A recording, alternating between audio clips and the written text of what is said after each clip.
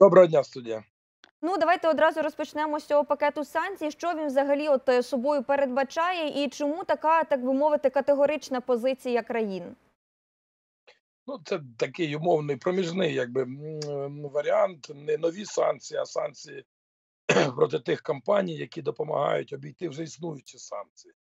От і він надзвичайно важливий, оскільки закриває лазійки для росіян отримувати ту е, продукцію, те там ноу-хау там і так далі, сировину, е, яка заборонена вже діючими санкціями. Чому ем, е, Угорщина проти? Ну тут зрозуміло, там є керівництво в особі Орбана, прем'єр-міністра Сіярто, всім відомий міністр закордонних справ, які діють по принципу Абаба Яга проти. Вони проти всього, що шкодить Росії, проти всього, що допомагає Україні. Тому тут абсолютно нічого дивного. Те, що Греція проти, ну все таки це така собі міні-сенсація, адже Греція, е, ну скажімо так, дуже серйозно поміняла свою позицію стосовно Росії. Вони допомагали Україні, поставляли нам військову техніку, бо- боєзапас. Звичайно, що не в величезних там якихось кількостях, але тим не менше були членом якби той коаліції, яка нам дає, і залишаються членом е, і Рамштайну, там і все решта. То я би тут вважав, що це суто такі меркантильні бізнес-інтереси, які уряд змушений відстоювати е, з огляду на тиск своїх підприємців. Адже зрозуміло, що Греція зацікавлена в торгівлі з е, Росією. Тим не менше, на мою думку, компроміс буде знайдено, і цей е, черговий пакет е, санкцій, 12, здається, він буде запроваджений. А Греція і Угорщина. Ну, скоріш за все, зменшать свої апетити і пристануть до консенсусу. Якщо говорити вже і про вибори е, у Туреччині, е, то от е, ваша суто тут думка, як вони можуть вплинути саме на нашу країну, і якщо вже дивитися і на саму Туреччину, у них і місцева валюта там падає, то все ж таки, як от вже проголосовані такі результати впливають на загалом ситуацію у світі? На Україну це по великому рахунку ніяким чином не вплине, принаймні якихось негативних наслідків я не очікую. Чому? Тому що Ердоган має досить такі стабільні, е, взаємовигідні відносини особисто з Зеленським, Туреччина з Україною.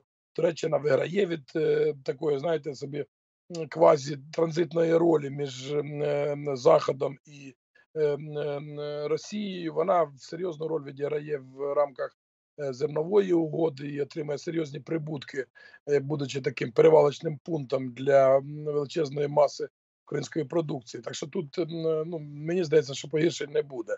Е, Для Туреччини самої можуть бути певні ускладнення з огляду на те, що фінансові ринки, фінансові інститути все таки сподівалися і робили ставку на виграш опозиції, а по факту отримали абсолютно інші результати. Тому зараз провисають там фінансові ринки, і валюта там Туреччини е, зазнає певного тиску, там і таке інше. Ну але це мені здається тимчасове явище протягом декількох тижнів, максимум там пару місяців.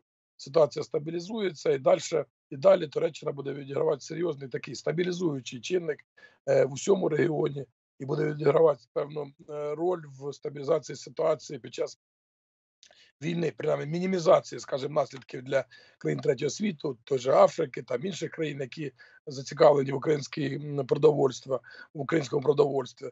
От і відповідно у нас з Туреччиною будуть розвиватися такі добросусідські взаємовигідні відносини, зокрема і в військово-технічній сфері, де як ми знаємо, проголошено намір побудувати ем, завод на території України по виробництву барактарів відомих де в Туреччині вже з Туреччиною укладені угоди про будівництво певних суден для військово-морських е, сил України, там і таке інше.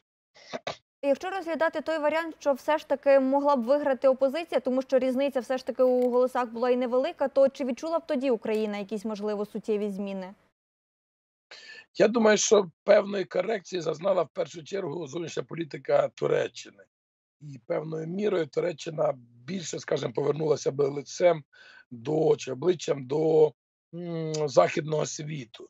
Але тим не менше, чомусь мені здається, що і Ердоган, то це третій термін, він буде вести себе трішечки інакше. Все-таки в нього зараз розв'язані руки з одного боку, і він може без оглядки якби реалізовувати власні певні зовнішньополітичні ініціативи. А з другого боку, той факт, що опозиція набрала в парламенті 45% м- мандатів, отримав 45% мандатів, і його е, ключовий опонент е, Киричагалу набрав біля 47, здається, там чимось відсотків. Він для нього фактор це таке стримування. Йому доведеться все-таки враховувати інтереси того електорату, тих виборців, які голосували за зміну курсу які хотіли вже альтернативи. Так що певних корекцій зовнішня політика зазнає. Відтак, і з точки зору поведінки Туреччини по відношенню до Росії і України, мені теж здається, що Ердоган ем, дещо, скажімо, змінить свою позицію. Він менше меншою мірою буде намагатися виступати в ролі компенсатора тих втрат, які зазнає Росія в результаті санкцій по відношенню до Росії, і більшою мірою, більш сміливіше буде захищати все таки інтереси України там, де це буде доречно.